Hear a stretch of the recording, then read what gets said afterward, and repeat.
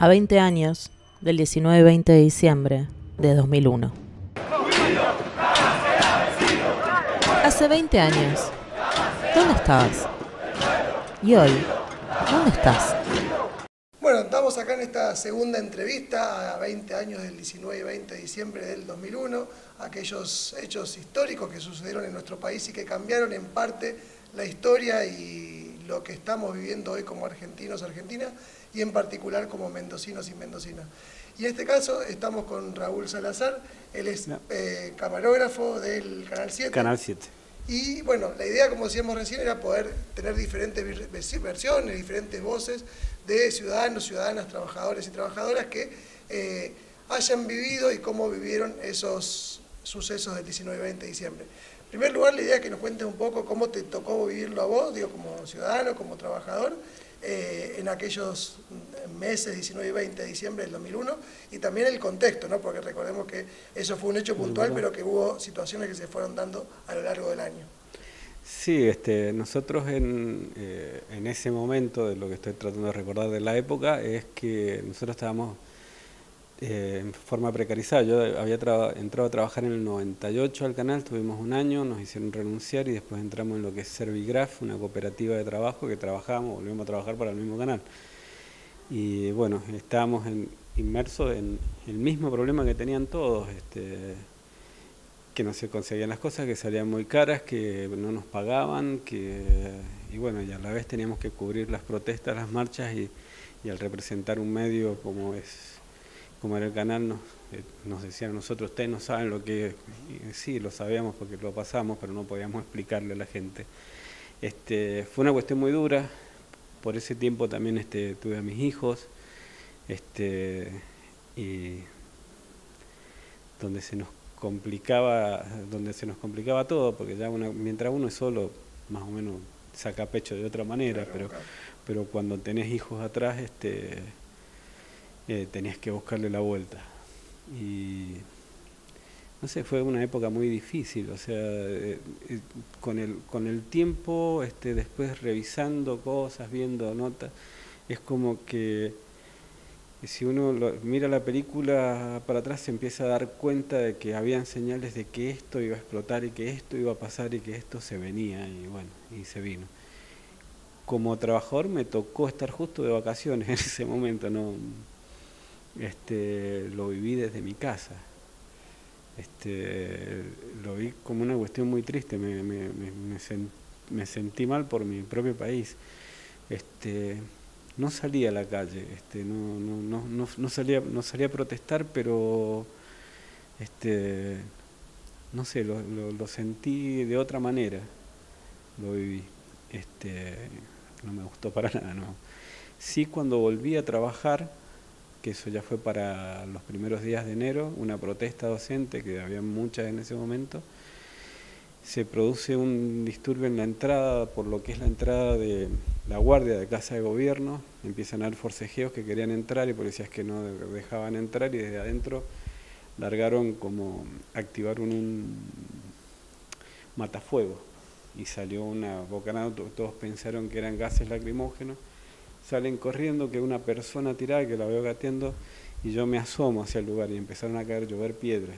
Y esa cayó una en mi cabeza, medio ladrillo en la cabeza me cayó, quedé medio inconsciente y volví. Ese fue el recibimiento otra vez al trabajo de, esa época. Por ahí vos decías, hiciste mención a, la situación que había vivido de precarización laboral, ¿no? que era como, digo, no estamos lejos de eso que en otros hechos sucede en la actualidad, pero en los 90 era como eh, la norma.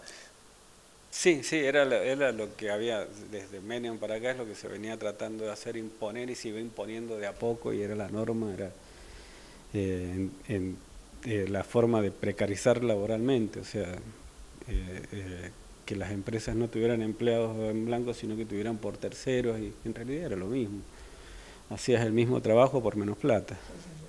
¿Y qué, qué te dejó como, como aprendizaje, como ciudadano, como trabajador?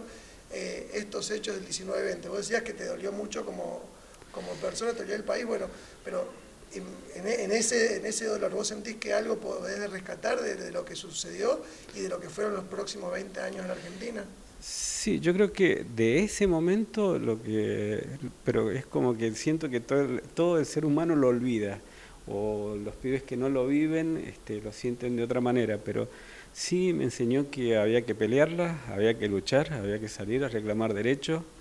No lo hice en ese momento, me tocó hacerlo después, lo, lo hice después. Este, y sí me, me, dejó eso como enseñanza, que las cosas hay que pelearlas, hay que lucharlas, hay que ir por los convencimientos y veo como que ahora, después de tanto tiempo atrás, es como que está otra vez todo más tranquilo. Eh, qué sé yo, me pareció con lo, de la minería, me volvió a recordar un poco esto cuando se tocó la 7722, que salió toda la gente a la calle a reclamarlo y, bueno, era una forma, había que pelear, había que lucharla, había que salir y había que salir a la calle por más que los políticos nos dijeran determinadas cosas. Y me parece que eso es lo que aprendí, me parece bueno, como cuestión buena. Lo malo es que veo que mucha gente olvida y que las cosas pasan. Y, eh, Pepe Cibrián lo dijo la otra vuelta en una entrevista que le preguntamos sobre la pandemia, dice, y generalmente el hombre olvida, dice, no, tiene mucho aprendizaje. Hemos vivido guerra mundial, eh, hizo referencia al 2001, hizo referencia a un montón de cosas, y y la gente se olvida.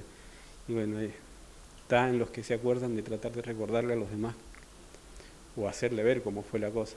en parte la idea es poder esto, rescatar esto, lo que fueron estos 20 años, lo que significó esa, esos hechos del 19 y 20, todo lo que fue el contexto previo de los 90, el, el, la precarización laboral, el avance y la profundización del neoliberalismo.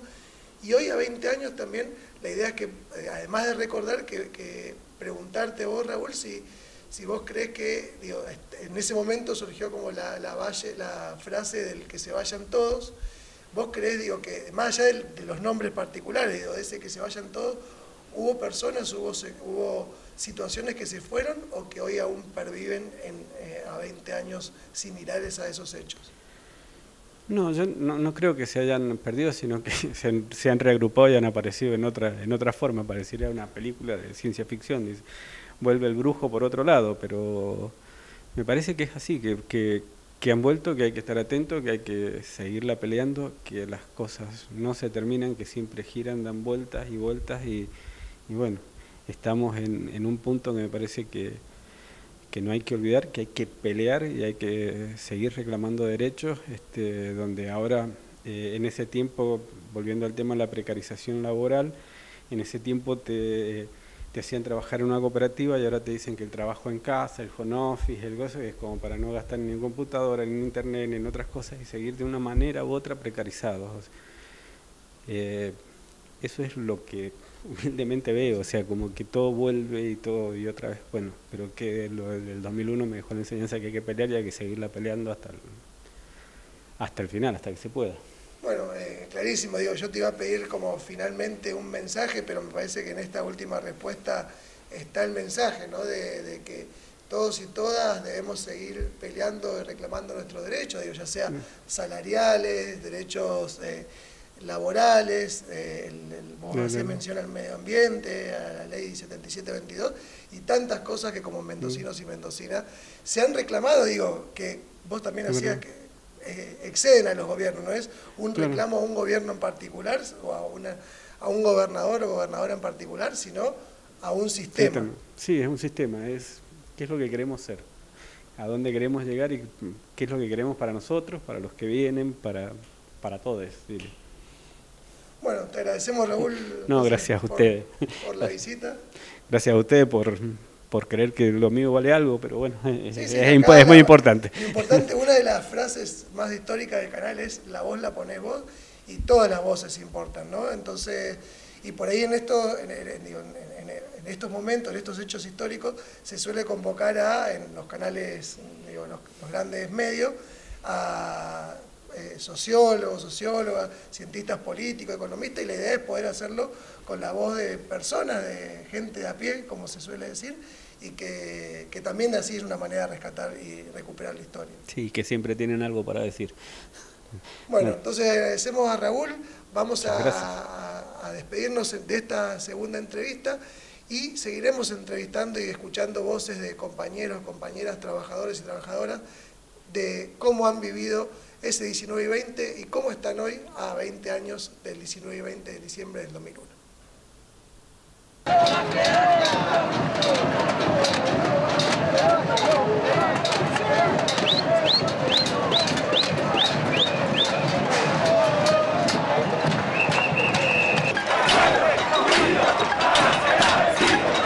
Hace 20 años, ¿dónde estabas? Y hoy, ¿dónde estás?